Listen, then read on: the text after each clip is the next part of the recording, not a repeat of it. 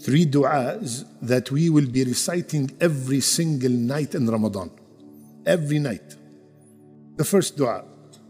Rasulullah sallallahu alayhi wasallam, he said, every night, it's a long hadith, and Allah decrees certain amount of people for their neck to be saved from the hellfire, and that is every single night in Ramadan, which is the first dua.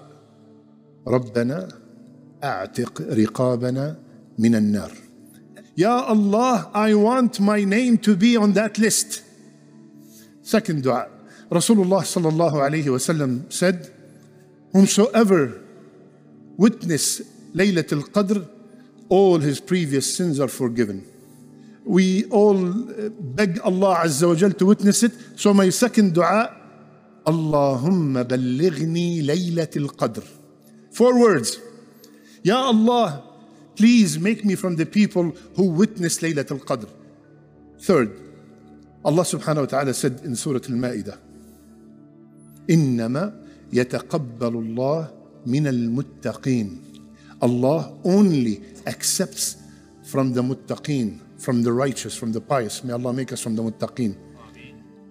Ali radiallahu anh, he said, you should be more concerned about the acceptance of the amal than the amal itself.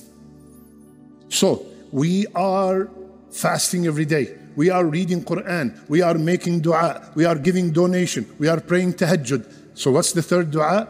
ربنا تقبل منا إنك أنت السميع العليم.